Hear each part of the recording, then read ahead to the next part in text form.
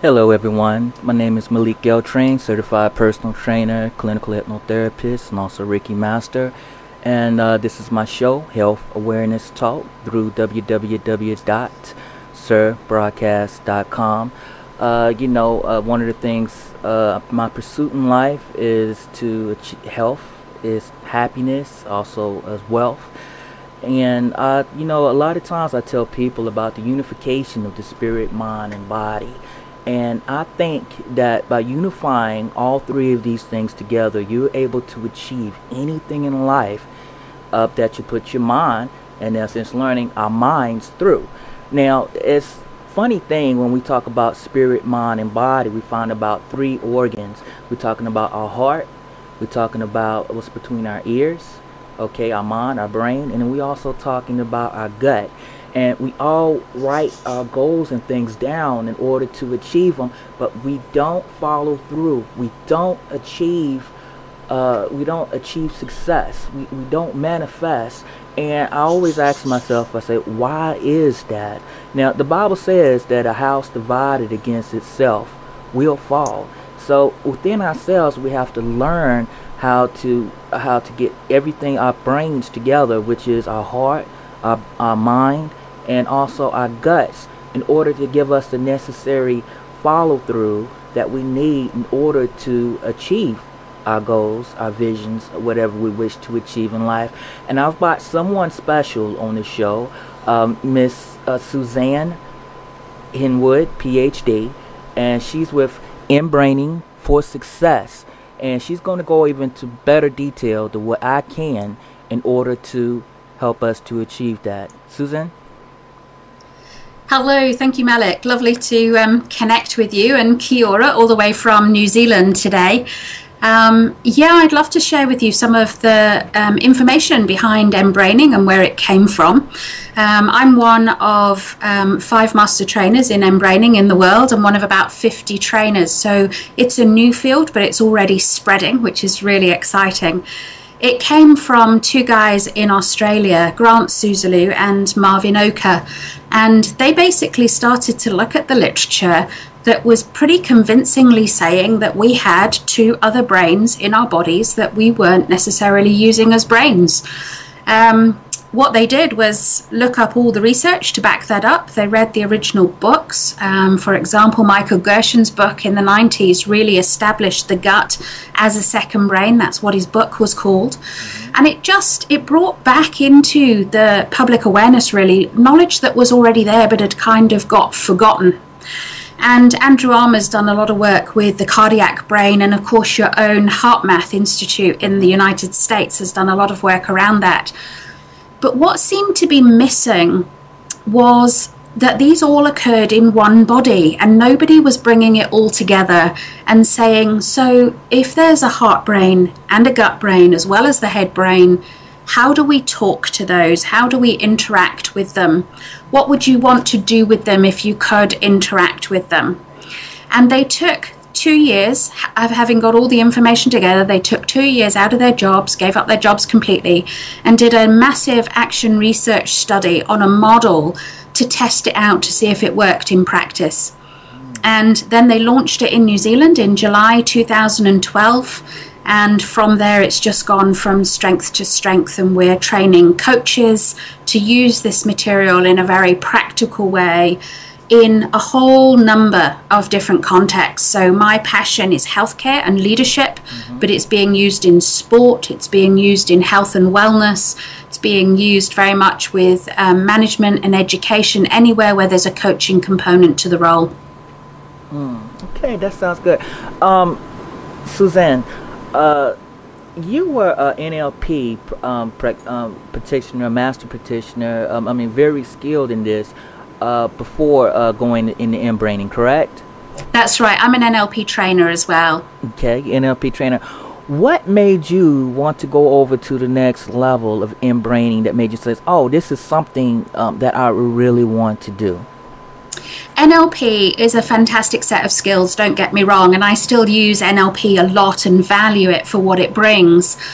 But there were some people whom you couldn't necessarily get the results you wanted with NLP.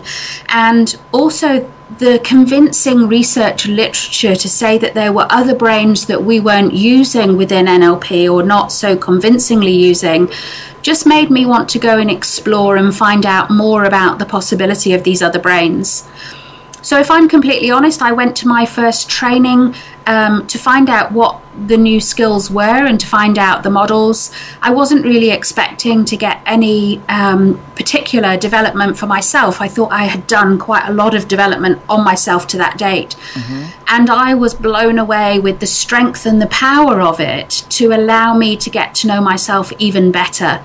So, having had such a strong personal experience, I knew it was something I wanted to be able to offer to other people. Oh, that's that is definitely that's super. I mean, a lot of people here who may be familiar with Anthony Robbins and with, N- with the NLP network, you know, I mean, we got things, you know, uh, for the new behavior generator. We have creating anchors. We have uh, instantly learning how to get rid of uh, phobias and different things. Some very powerful techniques. So, how is the techniques that's taught in NLP so uh, that are so powerful superseded by uh, mBraining? I think by just accepting these other two whole intelligences inside you enables you to reach in and get your own wisdom rather than being reliant on other people to do things for you. So, um, if you think of the NLP communication model, and not everybody will be familiar with that, so I'll just kind of highlight the key bits pretty much says that we take in information from our senses, and that information, in order to manage the sheer volume of it, is processed. And we were always taught it was processed at head level, and it's either deleted or distorted or generalized. And from that, and filtered through our own filters of experience and culture and knowledge, we create our own map of reality, and everybody's map is slightly different that's a powerful model that helps to determine our behaviors and our results. If we now add into that that there's a whole nother raft of information coming up in the body through the vagus nerve into the head, from the heart and from the gut, there's a whole nother set of information that needs to be added into that mix that NLP somewhere along the line overlooked. And so if you take, for example, your sense of identity, which is actually held at gut level, that sense of identity, as you make meaning of it in the head, also is filtered, deleted, distorted, and generalized. So, your created map of yourself and who you are and what you're capable of is just a map, it's not reality. And by recognizing that, you open up the opportunity to recreate that map into an even more effective, successful, compassionate you, that you had built kind of boundaries around the extent of what you could achieve, and now that opens up a whole new world of possibility. Ah, okay. Um, one of the things, uh, one of the things uh, for mBraining, I mean, how is our heart and our guts also a brain? How do they think? Well, it's not mBraining International and Grant and Marvin that are calling it a brain. It's the science literature. Mm-hmm. And in order for it to be defined as a brain, there's several criteria that need to be met far above just being a number of neurons. Mm-hmm. So obviously there are lots of organs in the body where there's lots of neurons. You take your eye, for example, or your ear. They're not brains. So it also has to have a range of different types of neurons. There needs to be glial or support cells. It, the uh, adaptive network that is that brain needs to be able to self regulate. And also, it needs to be able to hold memory. So, there's lots of different criteria before a set of neurons will be called a brain. Mm-hmm. And so, the heart, well, if you take the heart, for example, we used to think it was a physical pump Mm-hmm. We now know that it's far more complex than the physical pump. And although the heart has got the least number of neurons of the three brains that are currently recognized as brains, it's got somewhere between 30 and 120,000 neurons. Actually, it's an incredibly powerful part of the whole network. And we're kind of seeing that particularly in leadership and in life effectiveness, being led from the heart and allowing the heart to do that role of leading has an enormous impact on how we do life. Ah, okay. Well, it's also a very interesting thing I found out about the heart. They say that the heart has the strongest magnetic field than any other organ within the body. Absolutely. It gives off more powerful electromagnetic radiation than the head brain.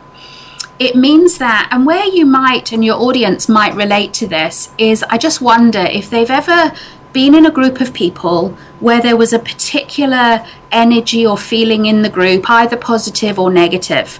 But let's take a, a, neutral to positive. They're all having coffee in a workplace. Everything's kind of okay, no major. And then somebody comes into the room who's having a really bad day. And how quickly that person impacts through their heart radiation that they're giving off and the energy they're giving off that's negative, and they do what we call entrain the others into their energy. Mm-hmm. And so, very quickly, you can have a toxic infection, if you like, where everybody suddenly is being pulled into that negativity. Mm-hmm.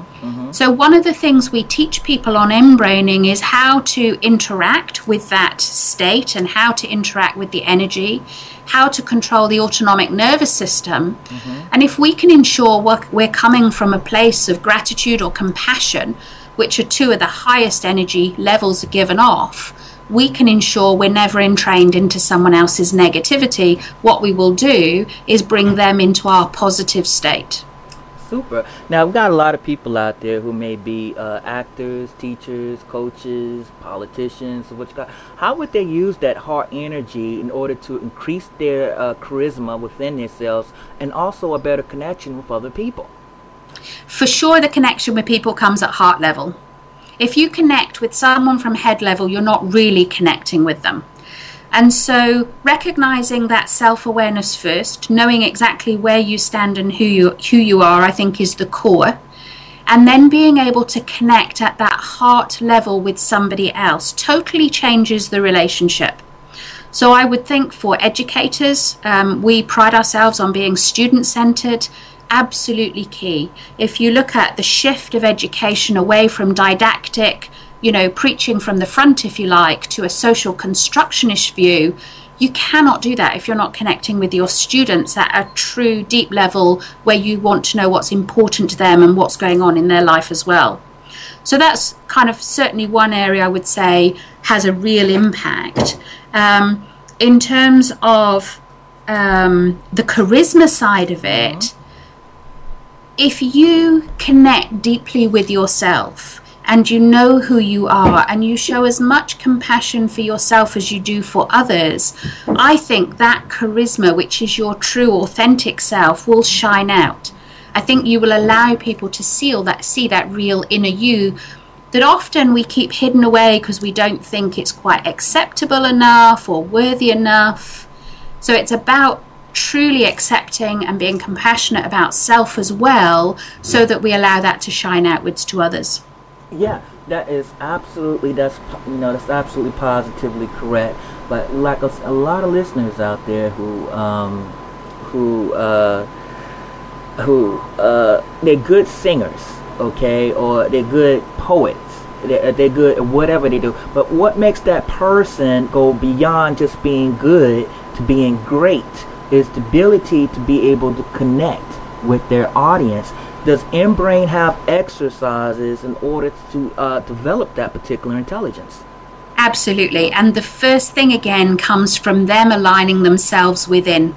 So you can technically be a very good singer, but you may not connect with your audience if you're not coming from that deep, higher sense of self that sits at the gut level.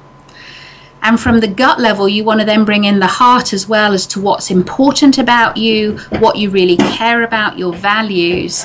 And then add to that your technical skills and that you know how to sing.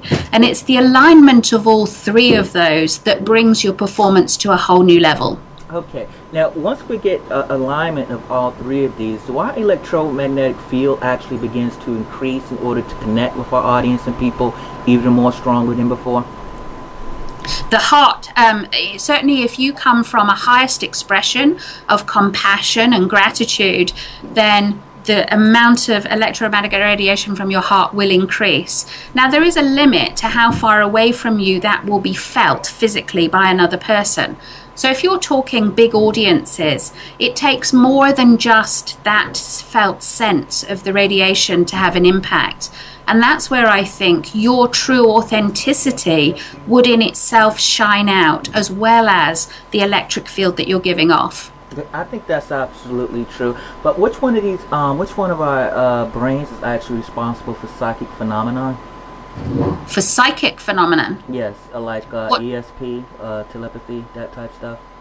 Well, at the moment, there's no conclusive evidence, empirical evidence, that they exist. So I wouldn't like to say conclusively where it links to our brains. Uh, okay, all right. So if we talk about resonance, basically, I'm trying to figure out what's the difference between somebody who's average and they're trying their best to become number one, and then somebody who's great and that they're able to connect with everyone and um, get their message through. Could you clarify that? How would you go doing that through mBrain?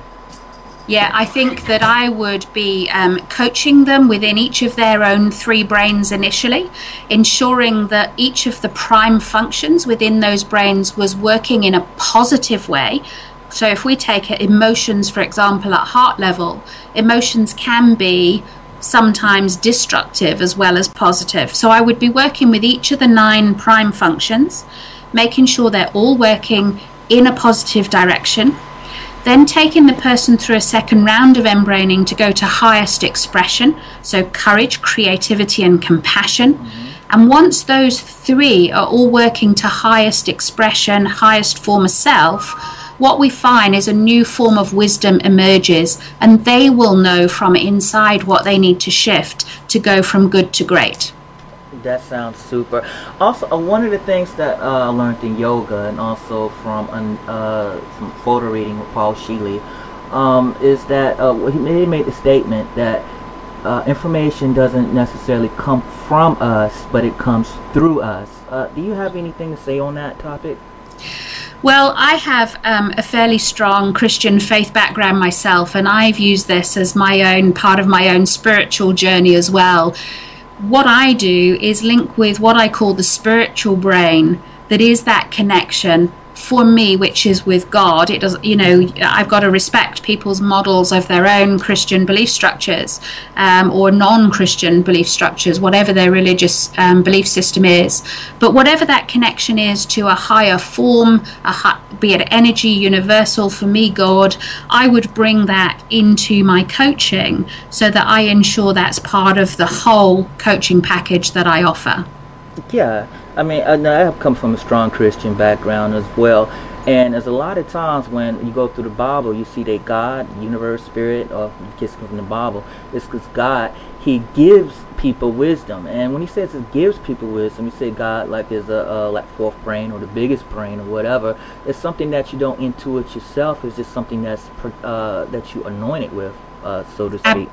Absolutely. And with the um, bit of um, spiritual direction I've been doing with mBraining, what people are describing is a connection through solar plexus, that it comes in somewhere between heart and gut. Mm-hmm. And it definitely comes in from outside and adds to what's already in there. Mm, mm. Yeah, I definitely see. I definitely um, can see that. Uh, one thing that one thing that's um one thing that I see is that um talking about Ember uh, and the picture of what they call for the sh- um, picture what they call um uh, uh, chakras going on for the energy fields. I don't know. Do they have any scientific basis behind uh, what's going on with the chakras? Um, y- have you ever heard of those before, Su- Susan? Again, I don't know of any empirical evidence. It's something that we're often asked in mBraining. How does it link with chakras? And to some extent that you can see parallels, mm-hmm. but it's again, it's not a model that we integrate into mbraining. Yeah, I definitely, I could definitely see that. But it was one thing I found a lot of interesting that when they say that the uh, God or when the Holy Spirit came down upon Jesus, it actually came down uh, on top of his head. And uh, one thing that let me see if I can actually find a picture of that. One of the pictures, and again, there's no uh, evidence, like they said, other than ancient wisdom, like the other people um, talk about. Let's see if I can find that picture. But let's see. And that's what happens when we're just having a conversation. Uh huh. Chakras, cone. Certainly, when I first coached Ah, the first couple go. of people trying to produ- um, introduce a spiritual brain into the mix, Right. I um, I pictured it above the head for exactly that reason, really. Mm-hmm.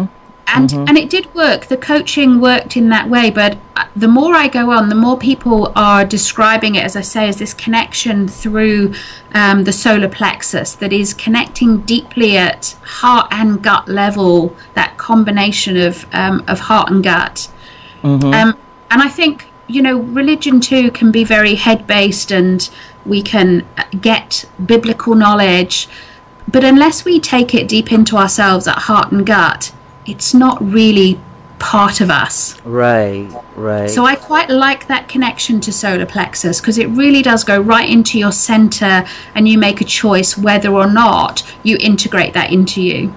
Yeah, I definitely I like that as well. Like on the gram, on the uh, and this is wherever you go to, I see this thing. It's called your electrical field. That's what they call an aura. But then they got this hole at the top, which Yeah. a lot of the times that when a person um uh receives whatever spirit or whatever, it comes from the top through this hole and goes through all of these energy centers, so to speak. So I always found that to be very um, interesting. Now in China, I, a lot of people didn't believe in the. You know what a meridian system is?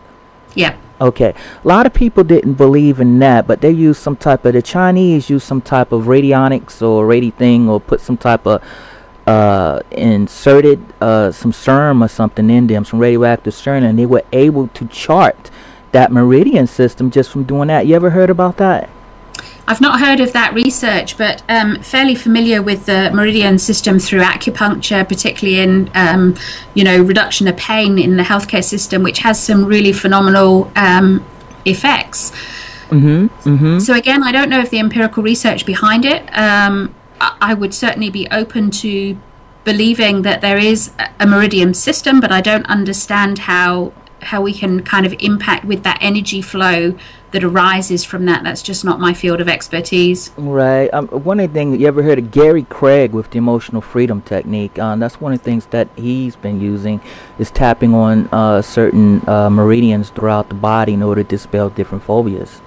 Yeah, and again, I've um, I've got lots of my colleagues from NLP who have trained in that and speak very highly of it, but it's not one of the fields I'm trained in. Right. Now let's get back on mBraining. Okay. Uh, I want to know if you got everybody's going to be having these goals set up for 2015 coming up. Yeah. Uh, let's say that if you have one for weight loss, um, exactly how would you use uh, this um, the heart, the uh, but your brain and your gut in order to use that in order to lose weight?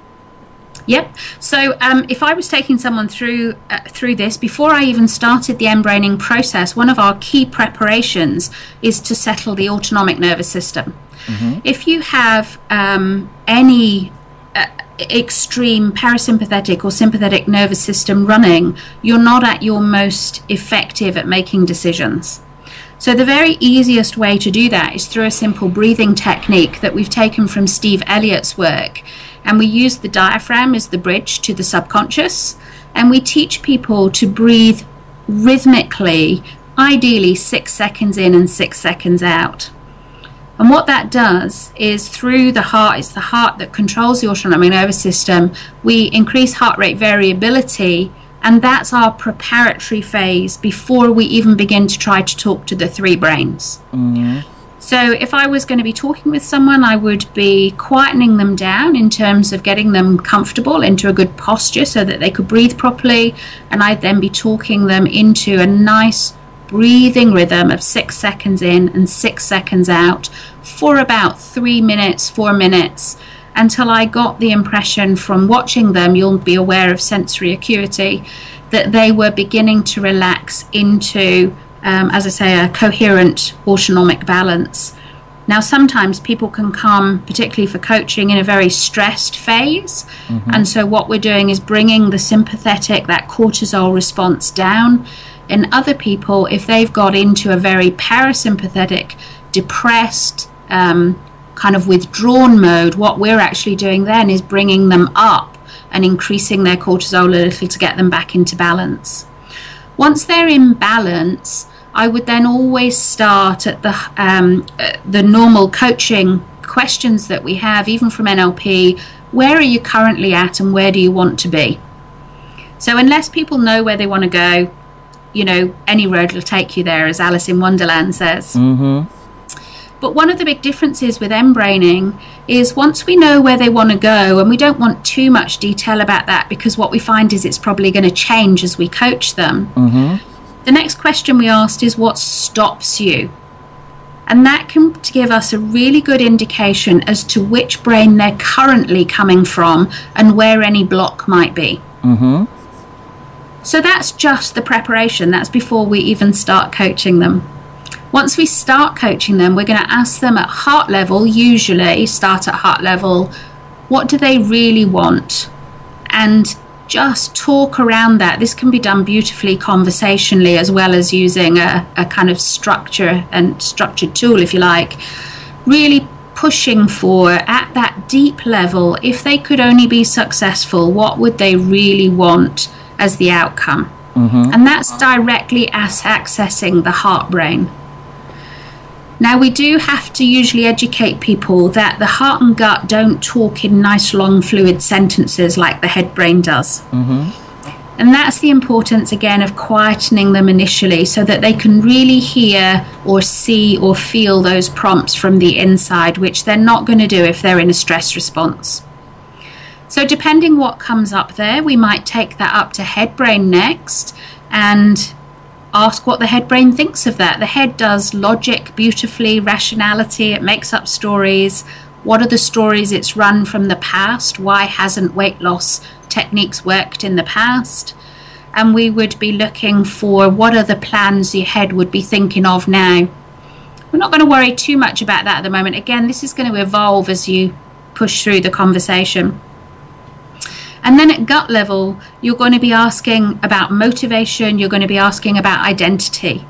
And it's very difficult to give a generic answer because it so de- depends what comes up by the individual you're talking to. But you may have someone who is holding being fat at identity level. I've always been fat. I never remember, you know, even as a kid, I don't remember never being um, not fat, if you like. So we're looking for where the key um, kind of where's that place we can get real movement? Or like, like systems analysis really. What's the pivot point that we can get into and really make a difference? And we're going to just talk at that stage around all three brains and then depending what comes up we're going to go through a second run then, working with these prime functions of each brain and making sure that in relation to this issue of um, weight loss or the inability to lose weight in the past, we're going to go back around those three brains again, looking at the prime functions for each of them. So, again, assessing values, again, assessing how that might affect connectivity with others, for example. Um, if someone's in a family where there's unhealthy eating habits, there's a big problem for them having to go and do something completely different from everyone else in the family. So there may be a restriction there to be able to, um, you know, to stop them going forward. Mm-hmm. At head level, we're then going to go again into all the options and possibilities they can think of, let them go wild creatively and get them curious about how they might solve it. And at gut level again, what would they need to do and what would they need to be able to do to make those steps happen mm-hmm. and then you're beginning to move towards these highest expressions which is where the real aha moments and changes happen so up until now you're getting them aware of the strategies that they're currently running mm-hmm. and now you're really offering them how would you do it differently so, at heart level, what would be the most compassionate thing you could do for yourself and for your family in relation to this issue? Mm-hmm. At head level, what would be the most creative way of tackling this effectively? And at gut level, what's the most courageous thing you could do? Who would you be if you started being a slim, fit, healthy person? What would that look like? What would you be doing differently? So we build up through what we call the foundational sequence a whole raft of conversation which is iterative in as much as the routine would change depending what the person brought up. At any point, they might block at one brain, so they may have the whole problem might be that they're not using one brain at all. Mm-hmm. So I'm thinking of let's take someone who has got an identity, they've always been fat. They may have that they're not worthy to be anything other than fat. They're not special enough. They're not good enough. Well, hold on, we just went off. False connection there. Oh, it's okay. Just go ahead and call her back. Um, yeah. So we got. Uh, we got. there she is. Okay, you're back again. Could you repeat that again? That sounded like it was very important. Uh, so I'm not quite sure where I lost you exactly, but I was talking about um, people who, for whatever reason, may not be using one of their brains. Mm-hmm. And if you've got a lot of negative identity issues going on, and there's been a lot of hurt in the past, it might be um, teasing at school, it might be not being able to be in the sports team. Mm-hmm. At heart level, what they might have done is actually cut the heart brain out of the equation. Mm-hmm. And so at gut level, they'll be saying, I'm fat, I'm useless. And at head level, they'll be justifying that story and making up uh, the meaning around that to justify that stance. Mm-hmm, mm-hmm. So, one of the most important things we can do for someone like that is to get the heart brain open again to allow it to be part of the conversation. Mm-hmm. And that has to be done gently and respectfully. It may not happen quickly, although sometimes it does. And we would be, in any way possible, talking through the heart brain. What does the heart brain need to hear or know in order that it will begin to communicate again? And we'll go back round the three brains and they'll be talking to each other internally. So it might say it needs to hear something from the head or it needs to hear something from the gut. Mm-hmm. And we'll go back to those and we'll say, Are they willing to say it? And we'll facilitate that conversation internally between the brains. And gradually, you get to the point where all three brains are happy to say whatever they think is important, what's happening for them and then we'll start to talk through the alignment phase where we're going so if this is what we want are all three brains in align with that mm-hmm, mm-hmm. for me i think this is one of the the differences the key differences with coaching to multiple brains is we're absolutely ensuring that whatever the solution they come up with one it's their own solution so they own it they're committed to it but two that you've absolutely checked that it's in line with exactly who they are and what they want. So they're far more likely then to follow it through and make it a reality. Okay, that, sounds that sounds that's, that's definitely that's a lot to take in. Uh, all right, Susan.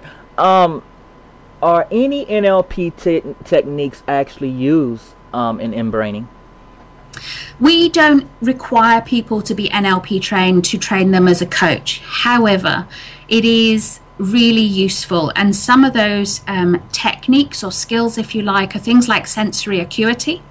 So being able to pick on, on subtle shifts and probe in different areas because of those subtle shifts. We use things like submodalities. Mm-hmm. So as we're um, when we come up with, if you like, this aligned goal and this uh, new merged wisdom, we will then go back through and kind of um, install a really positive form of that through using submodalities. Mm-hmm.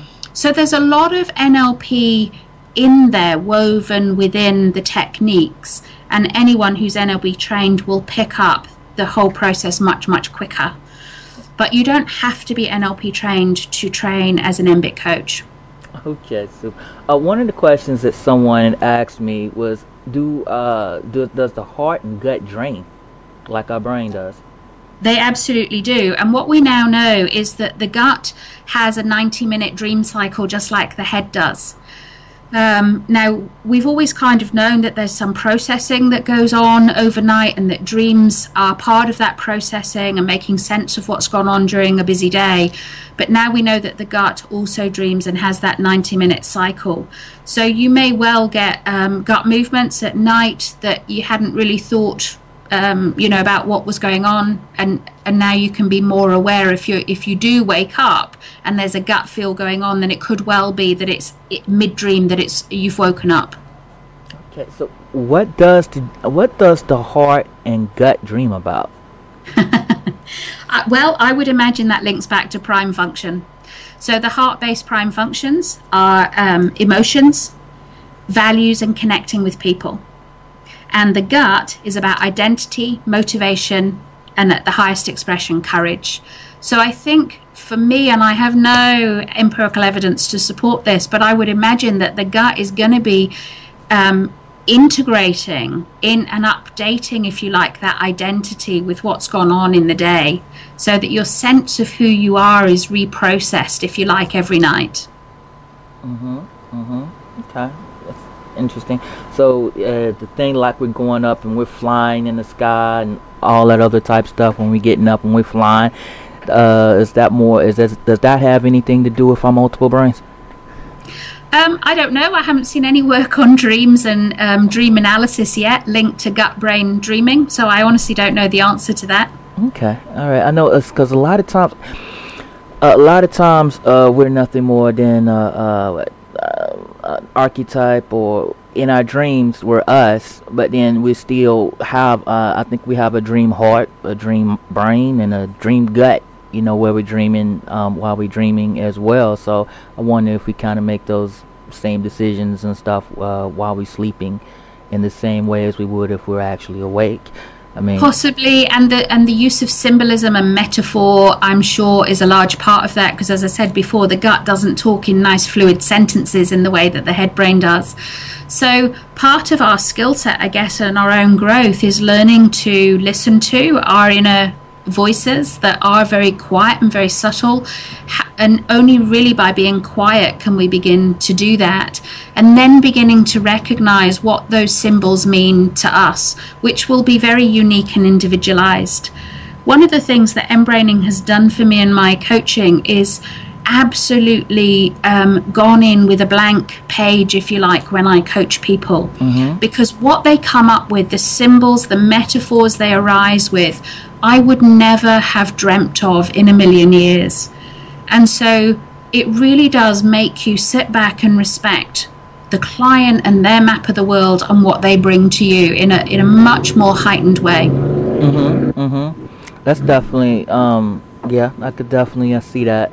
Uh one and also another question that came up is just like we got food that feeds the brain, uh feeds our brain between our ears uh, you know, ginkgo biloba fish and different stuff like that. Do we have? Is are there foods that actually um, feed your heart and your gut as well?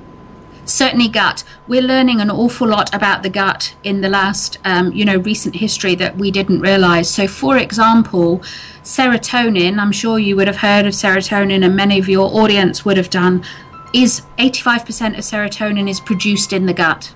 Mm-hmm. So, gut health is highly, highly related to mental health. Mm-hmm. Um, the whole kind of sphere of uh, microbiome in the gut and probiotics is hugely important, and only now are we really beginning to get the full knowledge behind that of how important it is.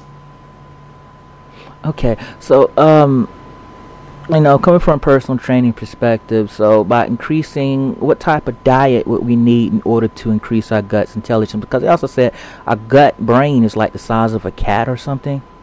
Uh, in terms of the number of neurons, it's um, it's an- analogous to the size of a cat's brain. Yeah, for sure. Um, physically, it's quite large because it goes right from mouth to anus, um, so it's quite widespread. But the number of neurons is similar to a cat's brain. Yeah. So, in terms of the diet, you're going to want to make sure that you've got good probiotic cover, that you've got uh, you know, a healthy diet, range of all the nutrition going in and also good fiber, all of that gut health that we've known. But maybe what we haven't known in the past is that that's far more important than just for digestion. It's also hugely important to mental health. Mm-hmm. Mm-hmm. Mm-hmm. But it's also I've heard I've um looked on the internet. They said uh, that there's a link between parasites, which is in the guts, and mental depression and suicide. Yeah, um, there's a lot of research studies being done at the moment around um, even sounds a little bit gross and apologies to your audience, but even taking fecal matter from one person and putting it in another and seeing whether the change of that microbiotic kind of makeup changes people, and it definitely does. So. Wow. As I say, we're really just touching the surface of that at the moment, and um, I think we've still got a lot to learn about how, as an individual, then we can change our kind of whole probiotic makeup in order to increase our health, our fitness, and our mental well being. What is a probiotic? The probiotics are the um, the bacteria that you deliberately take in, which is your good bacteria in the bowel. So you can take it, for example, in live yogurts, but you can also get good probiotic tablets. Okay, so we can get um, is those um, bacteria or whatever? Does it if, if we're constipated and we're not having regular bowel movements that affect our behavior and and that stuff? It will certainly affect your behavior because it will affect the whole of the gut health, which is then going to affect the serotonin release. So it's only in a really good functioning healthy bowel that you've got your serotonin being produced at the amounts it should be produced at as soon as your serotonin levels drop it is going to affect your your mental wellness Okay. I have a friend of mine who's a, a shaman um, from years back, and he was telling me about uh, how when they go on vision questing that they take the time out to cleanse out their colon and um, you know get everything clean out for fasting and stuff. And that was the way that they unified their spirit, mind, and body for uh, certain things on that. So, uh, is cleansing out your colon or any fasting does that have a tendency to increases uh, one's brain uh, gut brain intelligence? Yeah, if your gut brain is not having to concentrate on digesting food, it allows the space and the quiet for you then to look at the other side of the function. So, yeah, again, if you look in the Bible, you know, fasting is. Um, it's well represented in the Bible, but it's only now we're beginning to get the scientific background, if you like, as to why that worked. Now, obviously, you've got to be careful about how you fast. You've got to make sure you keep drinking fluid. You've got to be not fasting for too long periods of time. But there's some good evidence coming out that, you know, um, careful fasting can be very good for that inner insight. And as soon as you go to the inner insight, if you add in a spiritual component to that, mm. then you're going to get good connection with that spiritual connection. Yeah, that's one of the things I study, and also is that after about three days, the stomach stops digesting stuff, and the energy that was utilized for for uh, digestion then goes about to healing the body, increase intelligence, etc. Yeah. Um, so again, you got to be careful with keeping hydrated, but yeah, absolutely, you're right. There's a lot of literature coming out to support that. Um, one of the interesting things for me is that um, they're proposing that the appendix is like a storage of your gut bacteria so that even when you have like really um, a lot of diarrhea and so you're clearing out the bowel mm-hmm. there is a mm-hmm. store mm-hmm. of your bacteria there that can repopulate the bowel once the diarrhea has stopped so i guess the challenge is how do you if you've got a um, set of probiotics that are not the best fit for you how do you do a change and it does take a sustained um, deliberate um, diet and probiotic regime to change your whole system over. Okay, so by by having a diet that works with prob uh, works with that bacteria, the probiotics and everything, yep. it increases our level, uh, our expression of uh, self identity, uh, self protection, and also courage.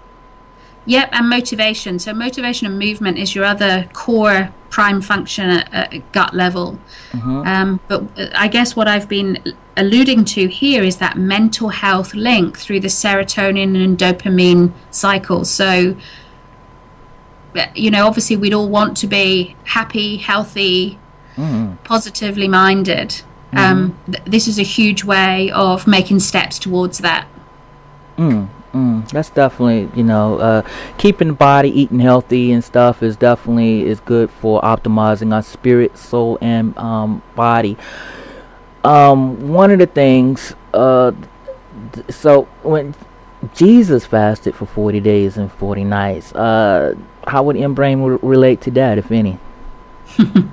so, mBraining is not a Christian tool. I happen to have a Christian um, faith myself, and so I've done kind of some of the personal reflections on how that links to my Christianity and my spiritual journey. Mm-hmm. I think 40 days fasting is it's a lot, and it was a real um, it was a trial for Jesus to fast for 40 days. Mm-hmm. And I do wonder, you know, we're not told whether he had anything at all in that time or whether there was just a hugely reduced diet. Did he have good water supply? We, you know, the Bible doesn't give us all the facts that scientifically we'd like to have.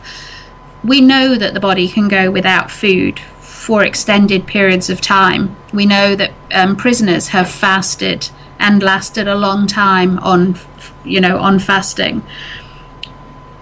I think for me, um, 40 days for Jesus, that was a core part of his ministry in terms of finding out what what he was about and what his mission on earth was to do. I've never fasted for 40 days, so I can't comment in terms of the impact it would have, but I would imagine that would take you right back to your core, right back to his connection with God. Um, and really, when he came out of there, he, he kind of knew exactly who he was and what he was about. Yeah, um, it's also been a thing for uh, Jesus wasn't the only one that fasted like 40 days. We got Socrates, Aristotle, Pythagoras. A lot of them also went on 40 day water fast in order for uh, purification. So we found out it's just not a Christian thing, but it yep. was just an overall. Uh, it was overall intelligence or the, the upper class or the spiritual things back during that time. That's one of the things that they actually went through. And uh, one of the things that Pythagoras actually uh, talked about was that by going by fasting, it actually opened up different levels of dimensions um, in the mind for um, for uh, th- for being able to think on higher levels. So that's yep. yeah. So you know, because that's why when I went, Jesus fasted forty days. Well, he was Jesus. Of course, he can fast for forty days. Okay, but then I'm looking at well, why did Pythagoras, Socrates, and um, Aristotle, and all these other people they adopted um, forty day fast as well? and I'm like, it must be something to that uh, as far as because they all these were great people, and from r- the reading that I've done on the internet and talking to people who fast, they've all talked about enhanced physical performance, enhanced physical prowess, a high level of mental clarity, and a profound sense of mental uh, profound, profound sense of inner peace. Again that profound sense of inner peace related to spirit the high level of um, functioning you know between your brain and increased physical prowess going over to your gut and body. So that's why i was looking at the connection between mBraining and uh, these people who's doing these uh, doing this fasting Yep, and one of the things mBraining has has done is begun to link that modern neuroscience with ancient wisdom. Mm-hmm. And we're finding now that a lot of what they used to do through the ancient spiritual traditions, we're now having the scientific evidence as to why it worked. So we've taken it on faith in the past, and now we're showing why it works in practice. And I think this is just one of those areas, and there's going to be lots of others. The whole realm of meditation or prayer, and what that achieves as well by quietening those that kind of inner inner self and particularly the ego and finding space to get round the ego so that we can reconnect with source so mm-hmm, yeah mBraining mm-hmm. as i say for me has also been a very spiritual journey even though it's not written as a Christian set of tools. I think what's amazing is that anyone can apply their own spiritual tradition to it and it transfers across all of them. Yeah, one of the amazing things that I found was studying with Pythagoras and um, uh, one of the things that he said that he did was he breathed a certain in order to transform himself during the 40 day fast that he breathed a certain way and he thought a certain way and at the end of the 40 days, he says, Well, I'm not the man that I used to be. I'm a totally transformed person. And I'm looking at the mBraining thing, and the very first thing that they talked about was breathing. Yeah. The breathing is um, incredibly simple, but incredibly powerful, and it really does allow you to connect in with the unconscious mind. So, I use um, the breathing in particular in workshops for stress reduction for burnout in healthcare and carers, and it's having amazing impact. So even without all the mBraining coaching, just that preparation phase mm-hmm. of teaching people to manage their autonomic nervous system is hugely, hugely helpful. Mm, mm. Okay, well, let's get down to the good stuff. Tell us about your testimonials, about uh, the people that you've actually worked with and got results. Can you give us some, some case examples? Yeah, um, so I've worked with uh, people from a variety of different contexts. I suppose stress is one of the major ones. I've had people say to me that it's been life saving for them in terms of teaching them the breathing um, patterns in relation to their stress that is work related. Mm-hmm. We seem to be in a time where stress is just becoming all encompassing, really, and we're almost accepting it as part of normal. So when you can teach people to manage that and get back to a settled, grounded core, it's life transformational for them. So that's been one major area that I've had lots of people have success in. Mm-hmm, mm-hmm. I've coached CEOs in terms of where company um, the company's going in terms of direction and reconnecting with staff to take them on that journey that has changed whole companies. Mm-hmm. Um, I've worked with teams where they begin to respect each other in a different way by all of them doing this process together so that they really do begin to grow together and not leave anybody behind. Mm. Uh, do you have any special stories about any individuals who, um, like, they maybe had some type of disease or something, and then um, they went through some type of remission, or you know, they would had a lot of heartache, and by going through the process, they found a, uh, a serene peace within themselves. Yeah, I've certainly, I mean, going back to the stress, I've certainly worked with one individual who was really at the end of their tether. Um, they had gone so far as to write a suicide note. Mm. Um, they really didn't know how to carry on. They had their, you know, they were intelligent, they were strong, they were well skilled, but kind of the environment had taken over and they just felt that they had no way of influencing mm-hmm. and working with them both to manage the stress, but also to get them to reconnect with who they were, what they were on the earth to do, and putting the work environment into a context where it was only a work environment and they could choose to walk away. Um, as I say, they actually said it was life saving for them. Mm. That's probably my most, um, you know, most transformational change in, in a person.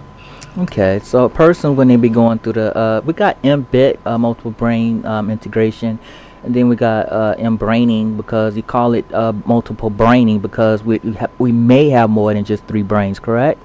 Yeah, so mBraining is the process of using the brains, and MBIT is the set of tools that tells you how to do it. So the two are complementary to each other.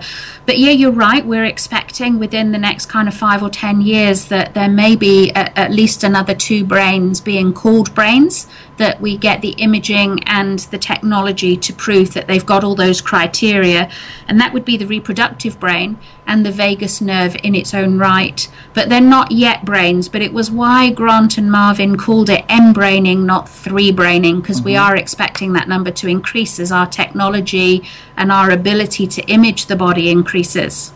Okay, so the very first thing the person um, have when they're mBraining is the, that six, sec- six second diaphragmatic breathing, which helps the person to get into uh, an alternate state of consciousness, to be completely relaxed, and then to be able to access the inner wisdom within ourselves with both the heart, um, what's between our ears, our brain, our mind, and then also with the um, also with our guts and then from our heart we'd be going for a, a sense of compassion a sense of value what's actually driving me to uh, driving me or leading me uh, towards achieving that goal. And then from our brain between our ears we got that sense of creativity uh, what are the many ways in order for to achieve this goal?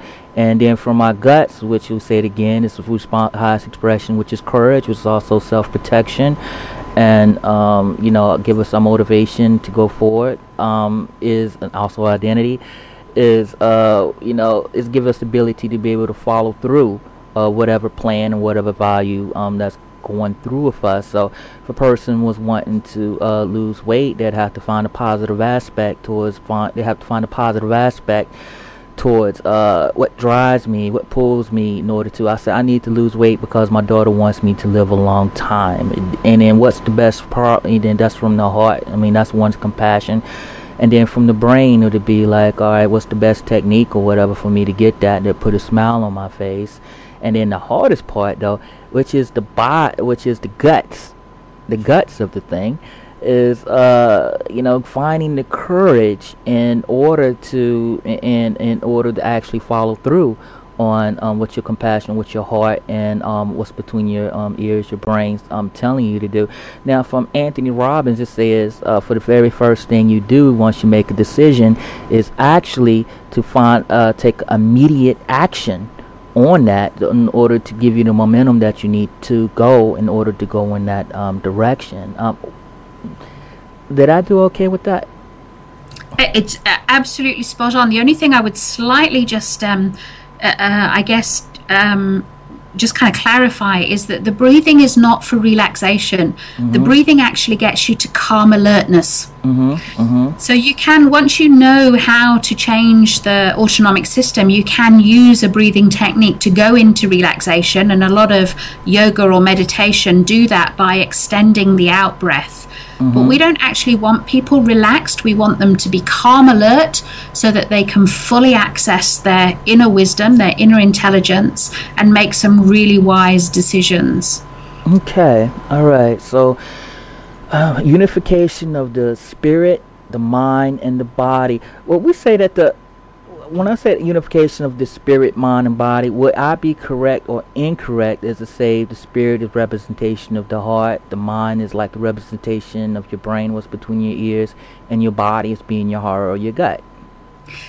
Yeah, I think that's where we come back to this. Where does that spiritual connection come? And some people do link it to heart um, I think for me, that spiritual connection is a combination of heart and gut. It's somewhere between the two, and like a combination of both. Mm-hmm. Um, so it's it's not it's not a phrase that that I necessarily use in mBraining. I talk head, heart, and gut. I don't talk um, spirit and soul. Mm-hmm. But mm-hmm. you know, each person will make this work for them in the map of their reality, and really the the key thing is about listening internally, trusting that inner intelligence, quietening down the head so that it doesn't dominate in a negative way, and just being pleasantly surprised at the new wisdom that emerges that allows you to go to all sorts of places that you didn't think you could go before. Yeah, that's definitely on point on that. And one of the things that they talk, as a, a friend of mine, what it says, I read on it, and he's a wise man. He talks about, he says that all paths it leads to death. Therefore, choose the path with heart. And I was kind of scratching my head like that. I was kind of scratching my head on that because it, just makes sense, you know. But a lot of us here in the Western world, we're so uh, doggedly trying to make that money, so doggedly trying to get physical things, when all along it's the experiences or what really makes you happy and finding out who who are you and stuff. Yeah. Yeah. We need a new form of wisdom on the planet. We need a form of wisdom that is compassionate and courageous, that is connecting with all people so that it's not a small percentage of people have everything uh, I was at San Diego just last week at the ILA Global Conference on Leadership, and Otto Scharmer was one of our keynote speakers. Mm-hmm. And what he said concurred so much with what Grant is saying. if I can just share with you Grant's kind of vision for mBraining. Mm-hmm. Now that we know that the brain is plastic, we know that you can change neural connections, we know that you can create new neural pathways if we could change the physical structure of every brain on the planet to be more compassionate so that we meant, made wiser decisions that had everybody's best at heart, then that's the sort of world we want to live in. Wow, that is absolutely beautiful. You know, I think that is too. All right, Suzanne. Um, uh, how, you have anything else that you would like to add concerning mBraining about your uh about your company and how you can be contacted and things? Yeah, I mean, I'd like if I'm sure there'll be questions following this. Feel free to get in touch with me through my website, embrainingforsuccess.com.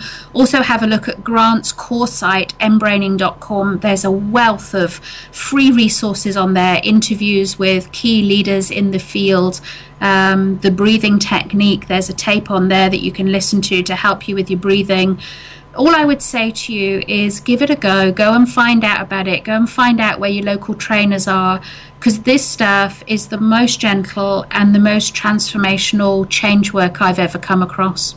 Yeah, and I'm definitely agreeing with that, especially especially learning how to think with my how to think with my heart. And the way that we think of our heart is with compassion Absolutely. And the way we think. But compassion for self and others. So it's not a soft, weak compassion. Mm-hmm. It's a strong, grounded compassion, uh, compassion that makes positive change in the world.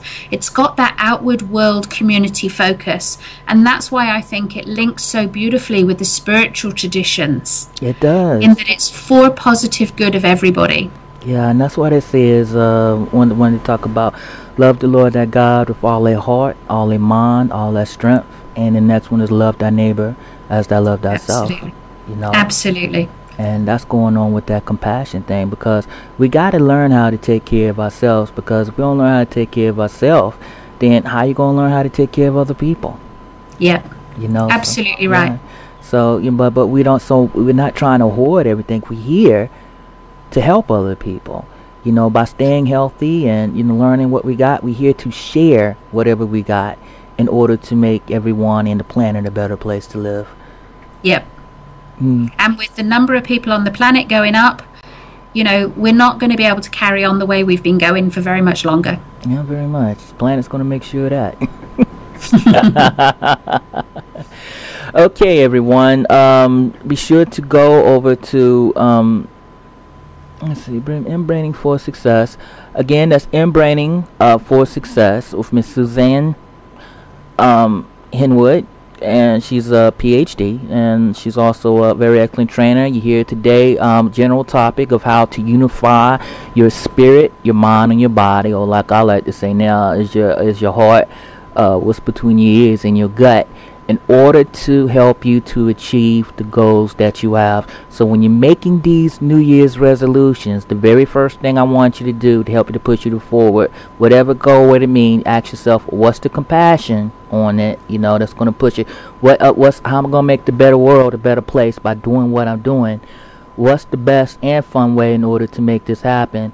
And what immediate steps and everything that I need to do in order to make that happen. Or and you know, that's at the same time that's uh ecological with myself okay for the self-protection and everything because sometimes you can sting yourself and um, it may not be healthy for you to do that. Uh, what you think about that suzanne? Yep absolutely. If everyone just asks themselves in the morning what's the most courageous compassionate creative way I could be on the planet today, we would start to make a difference one person at a time. Okay. And what's the most courageous? What's the most creative? What is the most compassionate thing that I could do today to help everyone? Yep, including yourself. To help everyone, including myself, how could we make this world a better place? Is that right? Yep. All right, and definitely I'm going to start using that as my mantra from now on. Fantastic. All right, everyone. This is Health Awareness Talk. Thank you, Suzanne. Thank you indeed for having me. Lovely to have met you. It's also lovely having meeting you as well. This is um, Malik El. Train with Health Awareness Talk through www.surbroadcast.com. Everyone, have a blessed day or night wherever you're at. Thank you.